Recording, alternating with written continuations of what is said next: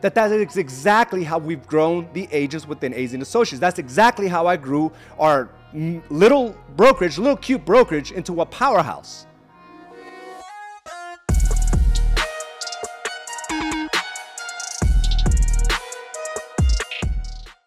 All right, welcome to another episode of Mindset Mastery. I'm your host, AZ Araujo. Thank you for joining me today on a special edition on a Tuesday morning as opposed to a Monday morning. Uh, yesterday, as we know, uh, workplace, Facebook, Instagram, all mediums of social media seemed like they were shut down. And uh, we just decided to postpone so that we can bring you this live.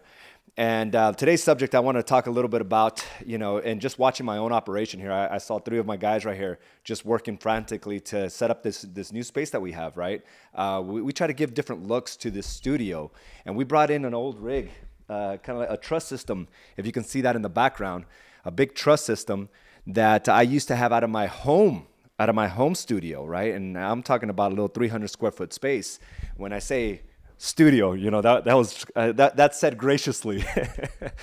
and, um, uh, I remember just uh, getting that into my home and, and doing this all by myself. Like literally, as I'm talking, I'm, I'm clicking around to change the different camera angles. And now I have this group of individuals that not only have le- ha- helped me level this place up, but got the lighting down right, got the the visuals down right, got the intros right, got all these things that I just wasn't capable of doing before.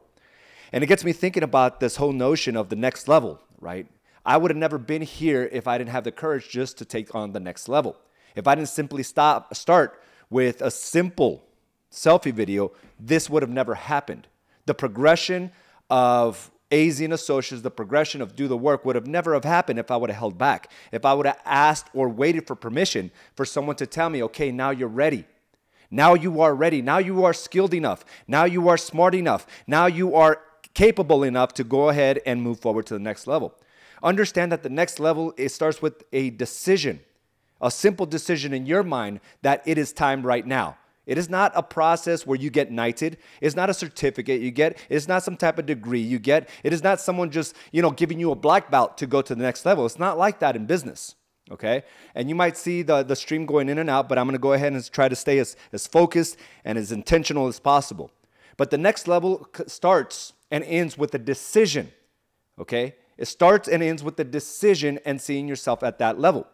And the next level seems almost like a formidable foe. And if we start looking of what a formidable, uh, the definition of formidable is something or someone that makes you feel slightly frightened or are very great or impressive. Something or someone that is formidable means that you feel slightly frightened. And guess what? The next level is a little frightening, right? Because it's going to require greater skill sets. It's going to require more consistency. It's a new level. And it's a new expectation and a new standard of how you should operate moving forward. And setting these, these uh, you know, stepping into the next level is as simple as making that decision.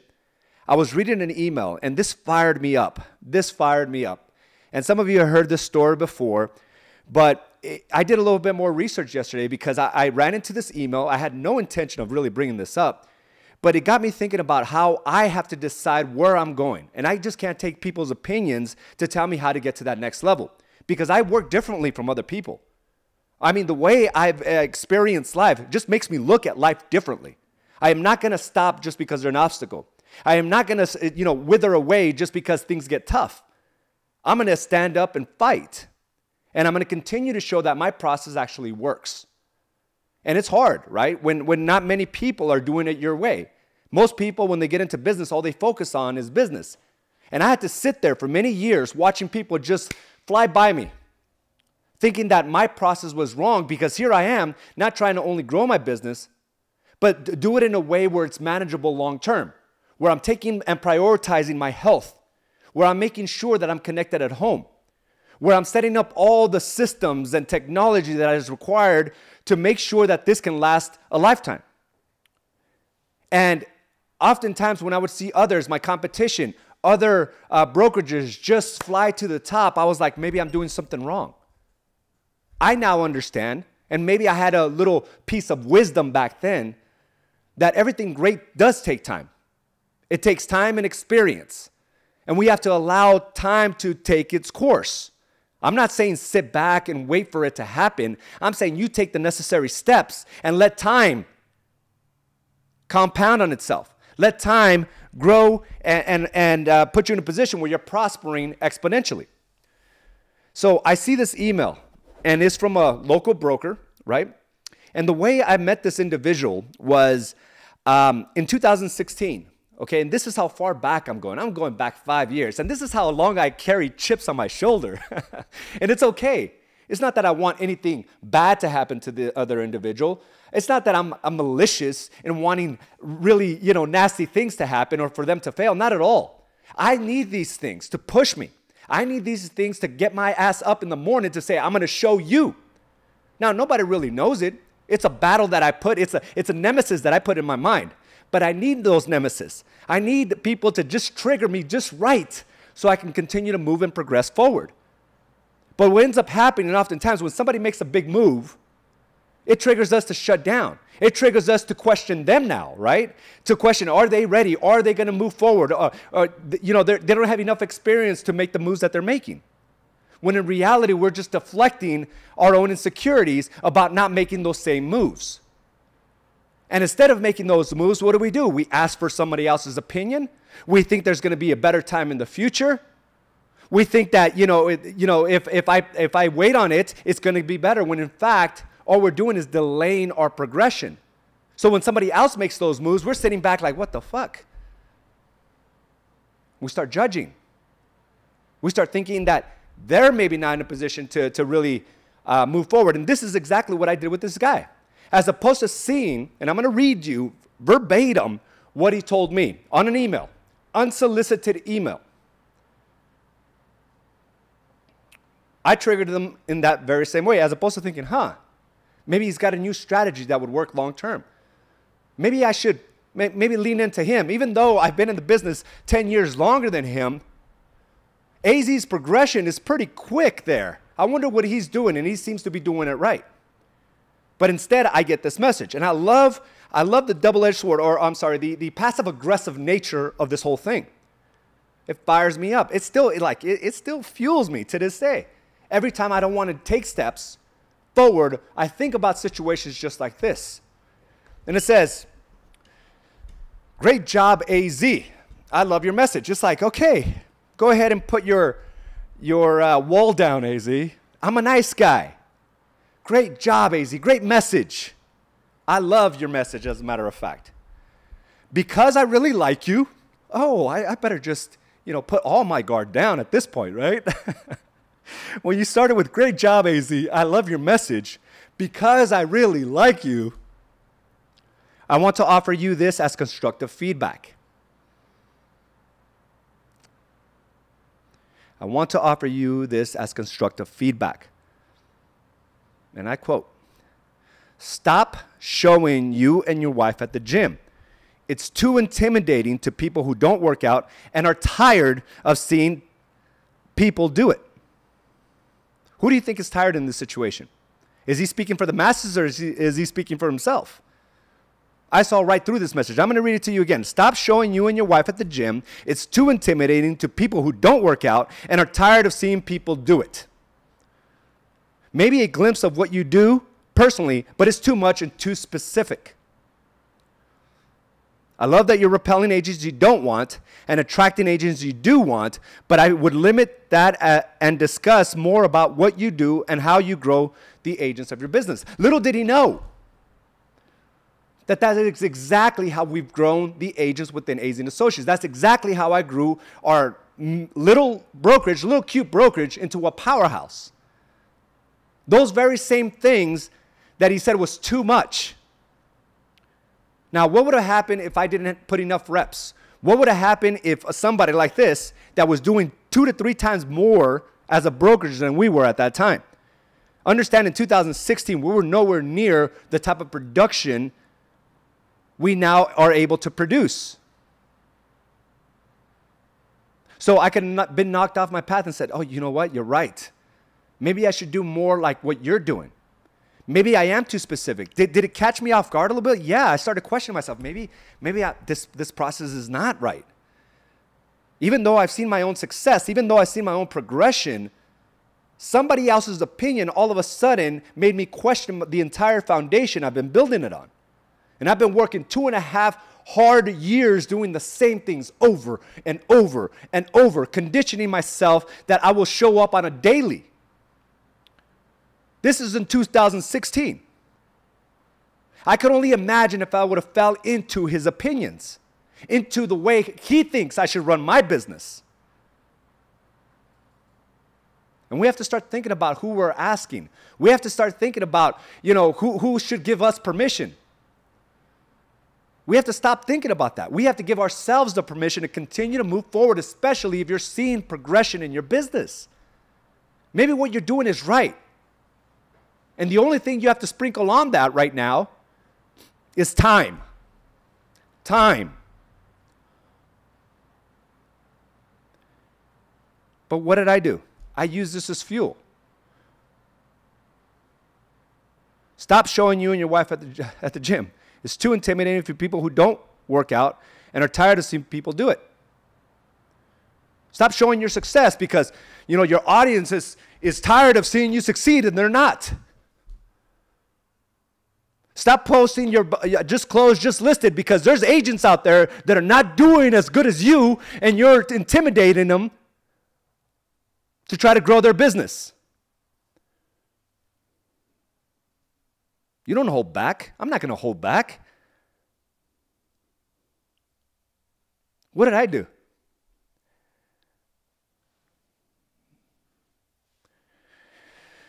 I doubled down. Do the work was created on the basis of self development, of self improvement, of self care. Now we go five years later. Guess who's double the size of what their brokerage is? Double. Guess who's still independent when they had to go to the franchise model because their model was not sustainable? Now, again, I'm not wishing harm on anyone. I don't want anyone, I know how hard it is to build a business. The last thing I want is, is to give anyone that type of negativity. But I use it as fuel in my mind. I use it a chip on my shoulder. And I make moves. I don't ask for permission. I don't ask how you think I should run my business. You know what I allow to, to give me a feedback? the trajectory of my growth. You want feedback? Look at the trajectory of your growth. And if you're in a far better situation today than you were six months ago or a year, I would say you're on the right track. So stop asking for other people's opinions and just make your moves.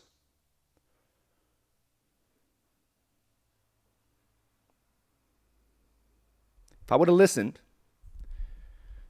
do the work and mark my words, It's going to be a massive company. And Associates will continue to be a powerhouse. And it will be the foundation. Do the work as the foundation of who we are. Not waiting for somebody else's opinions, not putting our health and our self care in the, on the back burner. Rather, to step into each and every day knowing that we're in this for the long haul. And the only way to do that is to feel good about yourself mentally, physically, emotionally.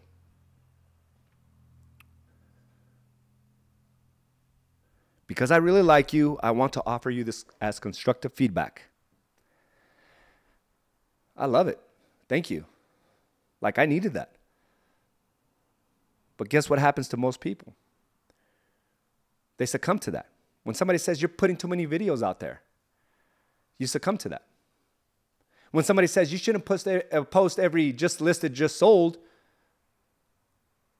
that's part of your job. Yeah, but I I'm very proud of what I do. But the next level is always going to be formidable. It's always going to be a little scary. It's always going to be tougher because it's outside your comfort zone. And if you've been thinking about doing something and you haven't pulled the trigger, that's how long are you going to allow that to happen? Because when somebody else does, you're going to be sitting back and saying, hey, what's going on with him? Judging. When in fact, they just exposed you. You have to make the move. You have to lean in to what your conscience has been telling you the entire time. And yes, it's going to be tough. No doubt about it. You're going to learn some nice, painful lessons. But those lessons are very much needed to play that game at that level. Last week we had our third third quarter review. And just like I described it, right? Many of you walked out with a good game plan of what you were going to accomplish for the week. I mean, for the, for the remainder of the quarter. You had it all written out, you had a game plan, you even wrote down why it was important. You were on this high. We're going to end strong. But I know what happened with most of you. You were overwhelmed with how hard it was going to be, how much time it was going to take the skill sets you have to develop, the consistency you have to show. Like you can't show up the way you've been showing up now and in the way strong, in the year strong. Every aspect of you has to level up, and with that takes more time, more energy, more effort. And when you start thinking about the time, energy, and effort, many of you succumb to that and realize, ah, maybe it's not what I, maybe I'm not ready for it. So you go through that roller coaster again. That maybe building a team is not a good idea. Maybe next year. I'll be ready next year.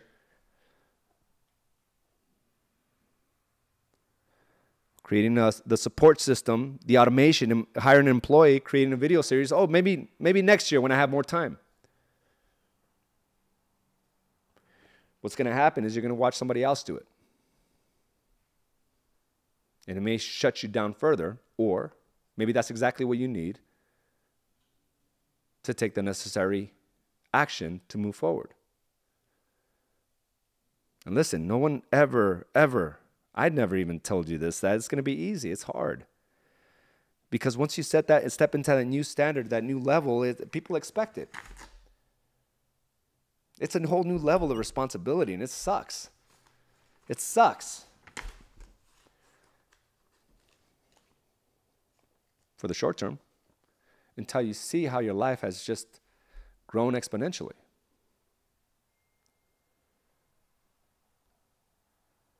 And by simply doing what I knew was going to work, if I feel good, I'm going to do good things. If I feel good, I'm going to dominate the day. If I feel good, I'm going to have more good days than bad ones. And it gives me the confidence to make the moves that I'm making. And we're working on this big project right now. Huge. And it's scary. But it's been on my mind for quite some time. And I too fell into that trap. Maybe I'm not ready yet. But it's in my soul, it's in my conscience. I think about it every day. How could I not be ready? If you think about it every day, how could you not be ready? It's time to lean in. So, this is just a reinforcement of what we talked about last week. Conditioning builds confidence, and confidence builds businesses.